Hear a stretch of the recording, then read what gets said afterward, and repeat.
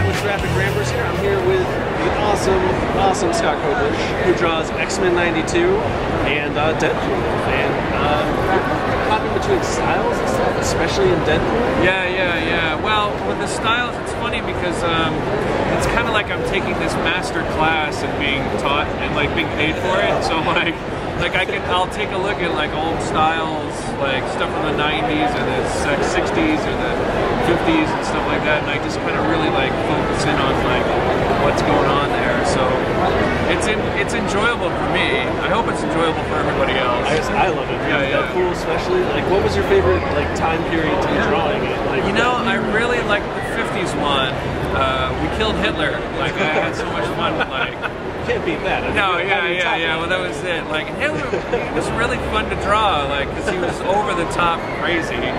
So, and then shooting him like a million times really kind of made me feel good. So, but uh, yeah, the Hitler stuff. And actually, they're putting it together in a trade in uh, in uh, winter sometime before the movie comes out. So That'll be fun. Yeah, all the flashback ones. Yeah. So, and they're putting it in order, like chronological order. So it's like the 50s, 60s, 70s, 80s, 90s, and then one one of them we had the colorist. He actually made, he colored it in crayon. Now it looks like it was colored in crayon because it actually was. Like he, he like printed them out in black and white, and then he would like he took he bought a box of crayons, and then he just went to town with the Make crayons. sure you have the Yeah. right limitations. Yeah, yeah, yeah, yeah. So it's great. You know, things like that. It, it's nice to experiment. Like on Deadpool, we can experiment on things. That's fun.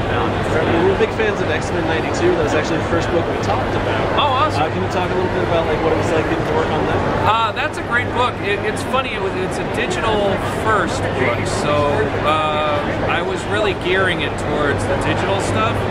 So like uh, the print copy, uh, uh, we did afterwards. But like, uh, but there were all sorts of little tricks that I could do, like with the panel. So like you can keep a figure the same, and then when you swipe it, like the background would change, and fun things like that. Stuff I don't get to do print very often. So that was a lot of fun, and it was uh. The writers, uh, Chad and, and Chris, were fantastic. So I was really happy working with them, and uh, my editors are awesome. So it was a really, I was really happy on the book. It was really good. So. Like I said, we were all pretty happy with it. So thank you so much for talking to us. Sure, today. thank you. I appreciate it. Thank you very much. Yeah, thanks. Bye, everybody.